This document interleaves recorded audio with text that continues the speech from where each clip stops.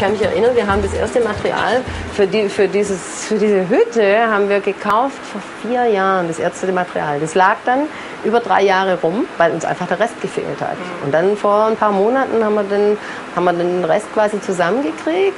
Dann hat uns das Arno hochgezogen, aber als es jetzt losging mit dem Regen, haben wir dann festgestellt, dass er uns eben ein paar altes Material verkauft hat, das jetzt nicht mehr das nicht ganz dicht ist. Und äh, jetzt regnet es uns in die Hütte rein, wenn es zu stark regnet.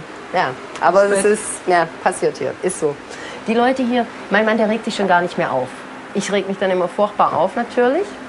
Aber das ist hier, das ist, ich, ich glaube, das gehört dazu. Das gehört dazu.